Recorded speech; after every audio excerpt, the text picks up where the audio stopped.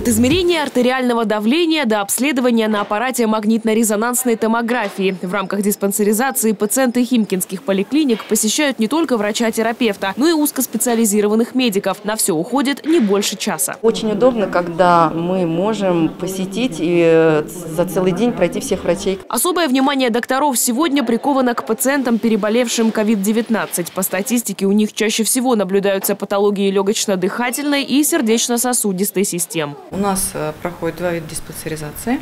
Это диспансеризация взрослого населения и углубленная диспансеризация для граждан, которые перенесли новую коронавирусную инфекцию COVID-19. А, различия в них есть, а, и что в первой, что во второй есть два этапа обследований. А, в углубленную диспансеризацию входит более расширенный спектр именно по лабораторным анализам. У перенесших коронавирус берут дополнительный анализ крови на наличие тромбов. Исследование позволяет выявить отклонение на ранней стадии и начать лечение, не дожидаясь развития недуга. Два года многие сидели на удаленке.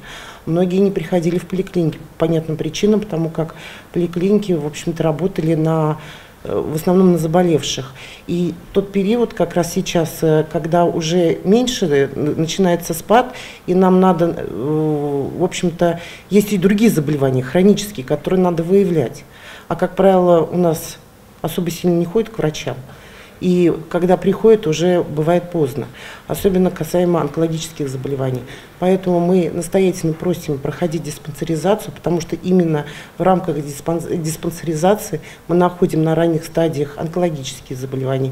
Э, на ранних стадиях заболеваний сердечно-сосудистой системы, дыхательной системы. Чтобы не упустить момент и не запустить заболевание, диспансеризацию советуют врачи, следует проходить не реже одного раза в год. Теперь сделать это можно всей семьей. Так называемая семейная диспансеризация доступна в поликлиниках смешанного типа. А дети проходят обычную диспансеризацию несовершеннолетних.